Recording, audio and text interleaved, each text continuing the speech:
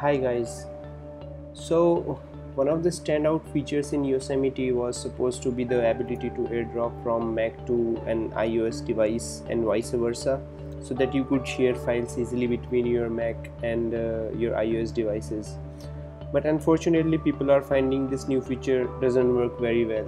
So even I faced this issue earlier but uh, now I'm going to show you a trick which works every time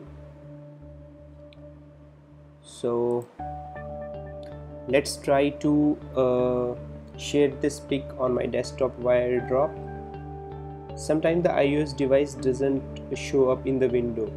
So make sure that in your iOS device airdrop is switched on. Let me just see. Yes it is. So here's the fix. Turn off both Wi-Fi and Bluetooth which will automatically turn off the airdrop and cancel the sharing process now swipe up again to bring the control center. Now don't turn the Wi-Fi and Bluetooth.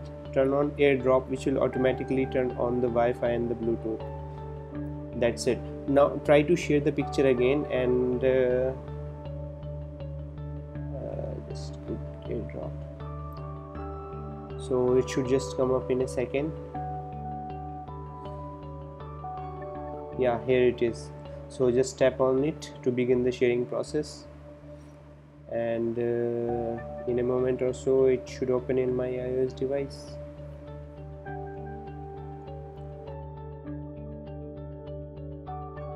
What's going on? Yeah so that's it. So this method works every time. So thanks for watching and subscribe to our youtube channel for cool tips and tricks and a lot more stuff. Thank you